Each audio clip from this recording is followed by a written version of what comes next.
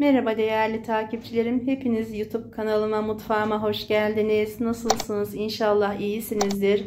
Bizleri soracak olursanız hamdolsun iyiyiz çok şükür. Hepinize hayırlı sabahlar, hayırlı akşamlar. Bugün açılışımı yine sabah sabah yapıyorum. Hayvanlarımıza baktık, sağdık. Her gün olduğu gibi kuzinemi yaktım. Bugün ben peynir mayalayacağım. Üzerine de sütlerimi koydum. Bunlar benim dün akşam sütlerim. Biraz da sabah çıkardım. Bunların üzerine aldım. Sabah çıkardıklarımı tabii çiğden yağlı süt oluyor. İkisini karıştıracağım.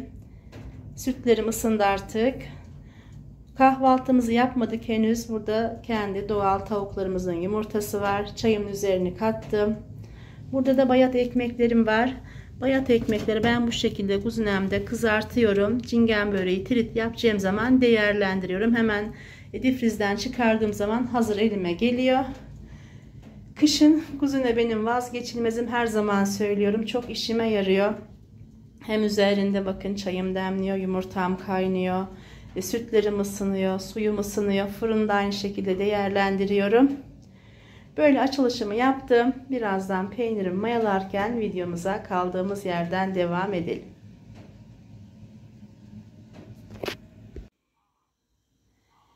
Evet arkadaşlarım sütlerim ısındı. Sabah sütümle akşam sütümü karıştırdım.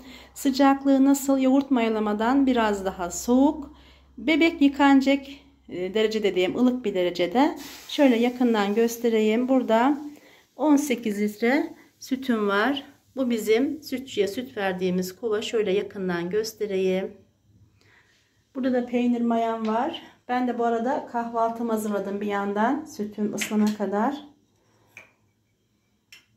Ölçmüştüm. Şöyle çay tabağımla dökeyim. Çünkü elimde olduğu için telefon.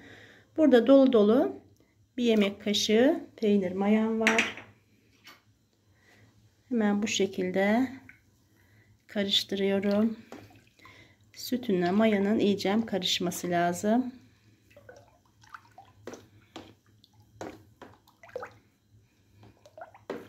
Bakalım kaç kilo sütten ne kadar peynir çıkacak. Hemen ben bunun üzerine tepsi kapatacağım.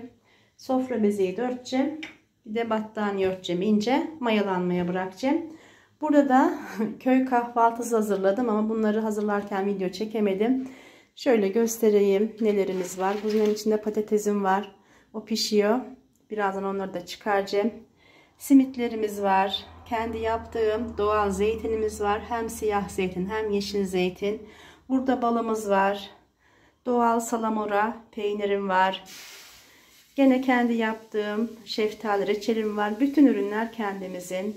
Doğal köy tereyağı, ayva reçeli, elma pekmezi. Bu videomu da izlemediyseniz izlemenizi tavsiye ederim. Çok güzel bir videoydu. Bir o kadar da hem doğal hem lezzetli. E burada da domates suyum var. Günlük taze yumurtalarımız var. Dediğim gibi kuzunemde de patateslerim var. Çayımız hazır. Biz kahvaltımızı yapalım. Ondan sonra peynirimi karıştırırken videomuza kaldığımız yerden devam edelim.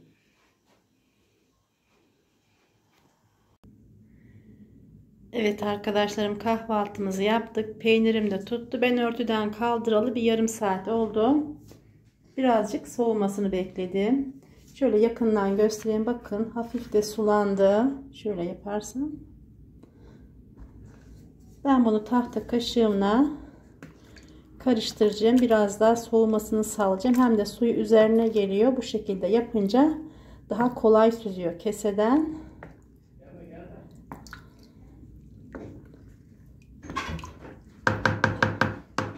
Birazdan keseme katabilirim artık. Evet arkadaşlarım peynirim bekledi biraz da soğudu. Öncelikle şu üzerine gelen suyunu leğenime boşaltıyorum. Önceden ben çocukken bu suyla biz hamur yoğururduk. Bu su çok değerli bir su aslında. Hem vitaminli hamur yoğururduk. Bundan çökelek yapardık. Önceden bizim savunlarımız çok olurdu. Kazan kazan kaynatır. Bundan norcuk lor yapardık. Şöyle suyunu da kenara alayım. Kovayla beraber katınca her tarafa sıçrıyor. O yüzden şöyle saplı plastik kabım var. Ondan yardım alacağım. Bismillahirrahmanirrahim. Bugün doğal köy peyniri yapıyoruz. Peynirim az kaldı. O yüzden tam da mevsimi şu an. Havalar serinken güzel oluyor. Peynir sıcakta çoğu su çıkıyor. Serinken yaptığımı çok faydası oluyor. Şöyle önce bir dibine inen suyunu ağzına kesim berenarı bağlayacağım. Şu suyumu da gene leğenime süzdüreyim.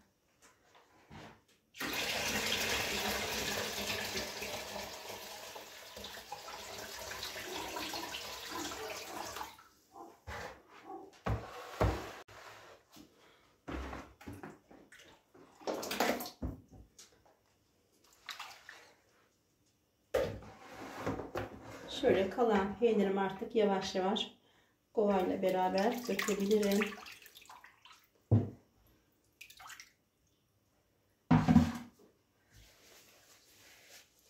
Hemen ağzını berenari bağlayacağım. Gene leğenimdeki suyumu da boşaltacağım kovama. Birazını köpeklerimize vereceğim. Birazını da kendim hamur işlerinde kullanacağım. Hani esmer ekmek yapıyorum ya tam buğday unu. Onu da değerlendireceğim. Şöyle yaparsam Bismillahirrahmanirrahim.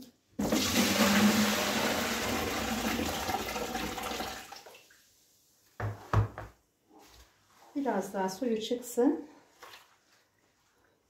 Çok ben böyle bastırarak suyun çıkmasını istemiyorum. Çünkü çok bastırdığın zaman e, peynirin yağı da suya çıkıyor. O zaman böyle bu şekilde kendi halinde yavaş yavaş çözüp bağlayarak suyun çıkmasını sağlıyorum. Hemen şöyle kalan suyunu da boşaltayım.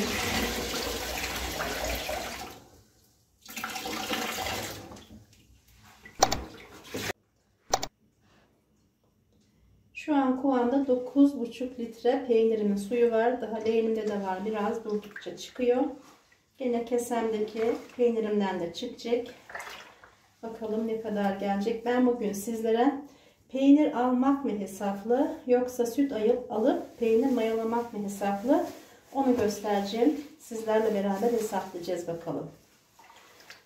Tabi sütün fiyatına göre de değişiyor. Sütü uygun fiyat alabilirseniz bana sorarsanız peynir yapmak daha hesaplı. Şu an sütlere çok zam geldi. Normalde biz 4.700'den veriyorduk sütçüye. Şu an 6.5 lira oldu. E tabi biz bunu parça sattığımız zaman 8'den e, 10'dan veriyoruz. Daha yeni fiyat uygulamadık ama e, o civarlarda olacak galiba 8-10 arası olacak. Kalan suyumu da şöyle boşaltayım.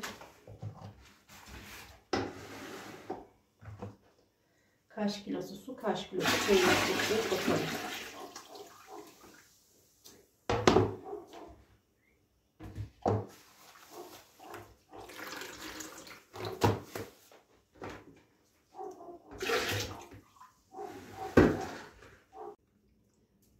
Peynirim suyunu iyice süzdü. Artık kesemin ağzını sımsıkı bağlayabilirim. Şöyle elimi kenara alayım. Bunu ne kadar düzgün toparlarsanız ağzına burası büzük büzük olmaz. Çok az büzük olur.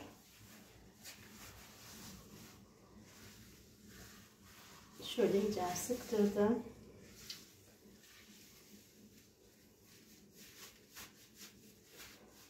Yine tepsimdeki suyumu da boşaltayım.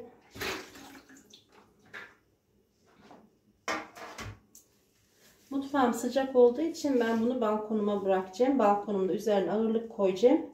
Suyunun süzmesini sağlayacağım. Şu kalan suyumu da gene kovama koyayım. Burada şu an 15 litre su var. 18 litre sütüm vardı. Bakalım peynirim ne kadar çıkacak. Evet arkadaşlarım peynirim süzdü 2 saat gibi bir zamanda. Ben de bu arada oturma odamın camını sildim. Büyük oğlundan bayağı beni uğraştırdı. Perdelerimi de yıkamıştım. Birazdan perdelerimi de takacağım. Şöyle kesemden çıkarıyorum.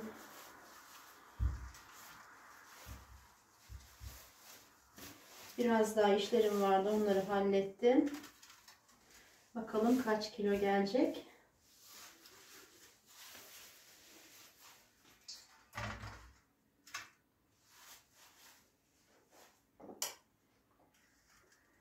Bakın fazla bir buruşuk tarafı yok ağız kısmının düzgün bağladığım için gayet de kalın oldu dilimlerim. Bismillahirrahmanirrahim.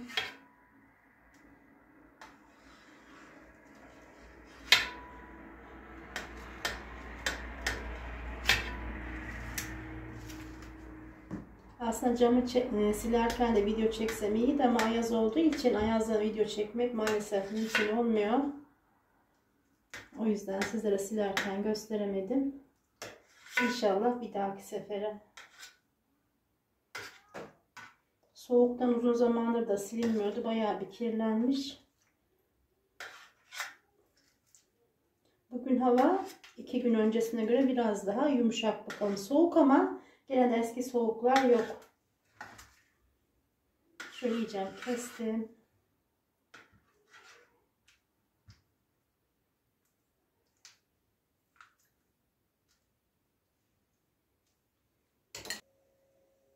Şöyle tartımı ayarladım. Üzerine de tabağımı koydum. Tabağımın da arası 600 gram diyeyim. 593 gram.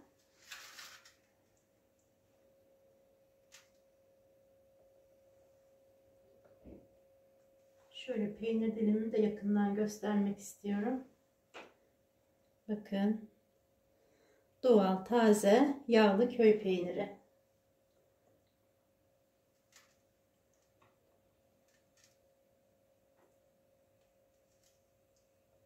Bakalım ne kadar gelecek. Sütünü hesapladım. Süt 8 liradan olursa 18 litre süt 155 lira para yapıyor. Şimdi peynirini de hesaplayacağım. Burada tabağıyla bir 3,5 kilo. Darasını çıkardıktan sonra 3 kilo peynirim var. Peynirimi tuzlamaya başladım. Bu şekilde her tarafını bolca tuzluyorum. Bunu eğer ben sıcak çalsaydım, sütün sıcak olsaydı bunun suyu daha fazla çıkardı. Peyniri de az çıkardı. O yüzden sütün ısısı önemli. Çok soğuk olunca da bu sefer tutmuyor.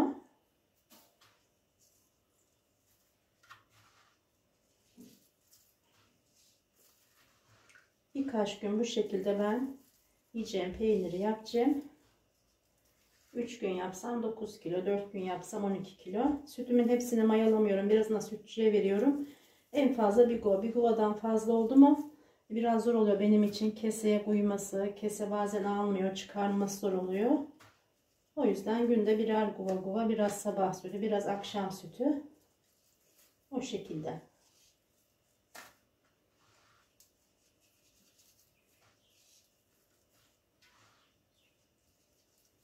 Yine biraz da vidona döşerken tuzlarım ben bu peynirlerimi.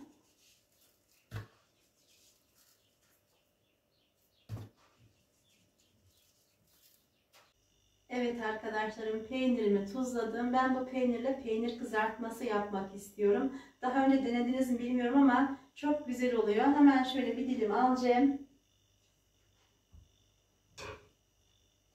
İnce dilimler halinde.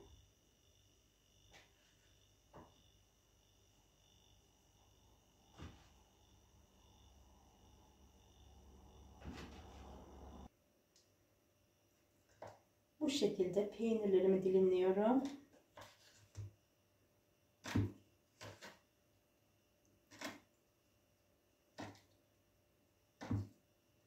Hemen tavama birazcık yağ katayım. Peynirlerimi kızartmaya başlayayım.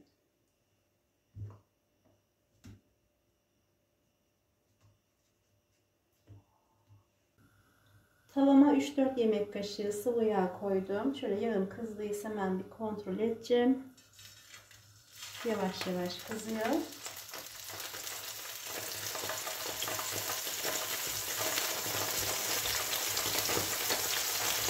Bu kahvaltılarda çok oluyor. Gene kahvaltı türü ara de yapabilirsiniz.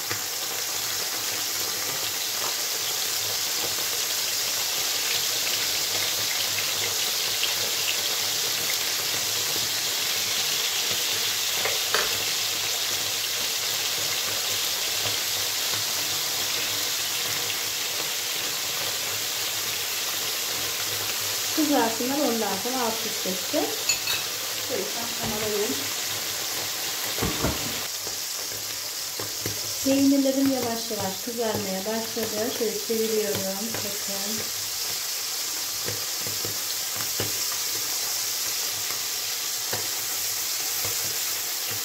Bunlar biraz daha dursun. Şunu da çevirmek istiyorum. Peynir taze olduğu için ister istemez biraz yağ pişiyor. Şöyle çeviriyorum.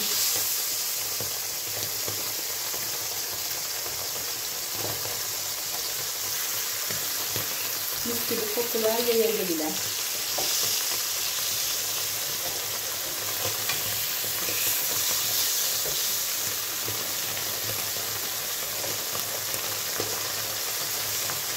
Bunları birer defa daha çevirmek istiyorum. Nar gibi kızarmaları için. Biraz daha kızartın ondan sonra alacağız.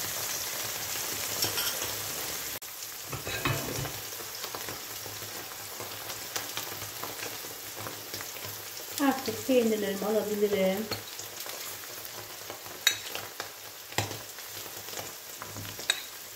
İstediğim kıvama geldiler.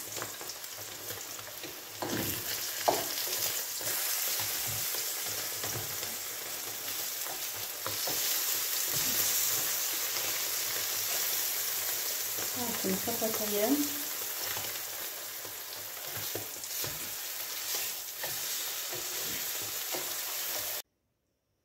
Evet değerli takipçilerim artık sıra geldi doku testine. Yumuşak seviyorsanız bu şekilde biraz az kızartabilirsiniz. Biraz çıtır seviyorsanız bu şekilde çok kızartabilirsiniz.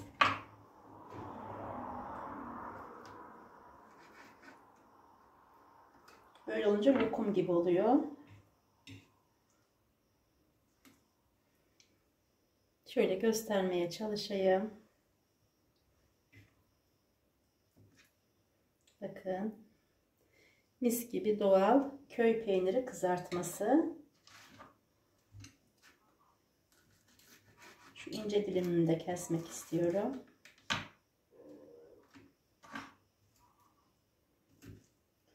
Onu da şöyle göstereyim. İnşallah beğenmişsinizdir.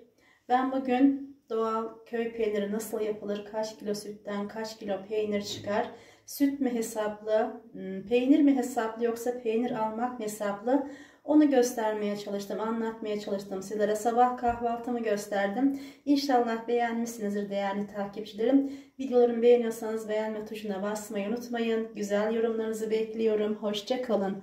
Allah'a emanet olun. Sağlıkla kalın. Her şey gönlünüzce olsun. Şöyle kalan peynirlerimi de tabağıma alayım. Artık burada videomu kapatıyorum.